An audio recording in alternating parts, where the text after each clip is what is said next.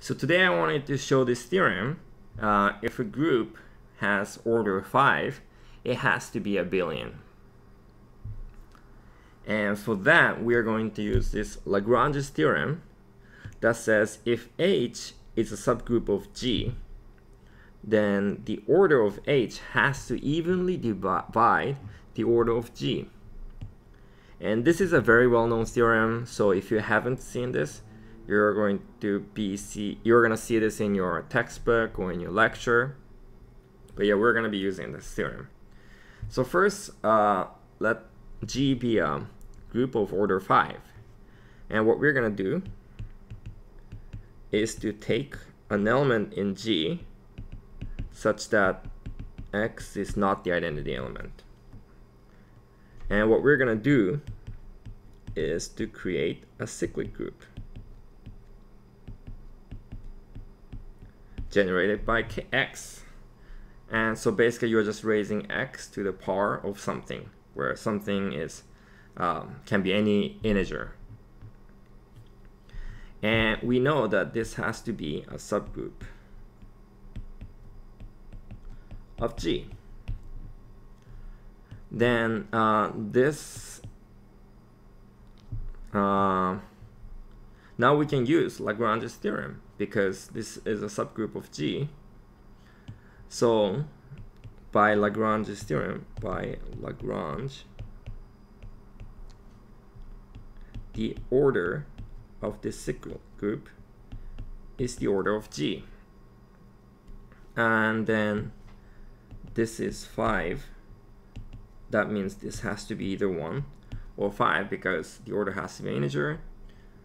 And then you can notice that this can't be 1 because x is not the identity element.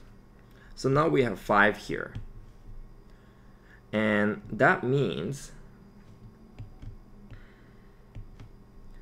G and this cyclic group are the same thing.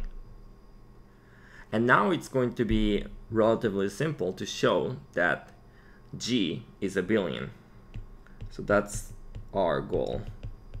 Is this guy abelian? And for that, uh, we can take two elements in it.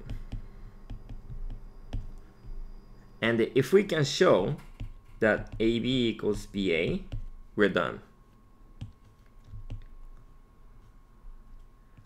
And since G can be represented as the cyclic group generated by X, A equals X to the M, and then B equals X to the N for some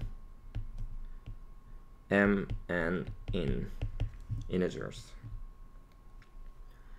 Then AB equals X to the M times X to the N and n times m and the m times uh, sorry m plus n and the n plus m. These are obviously equal. So we have x to the n.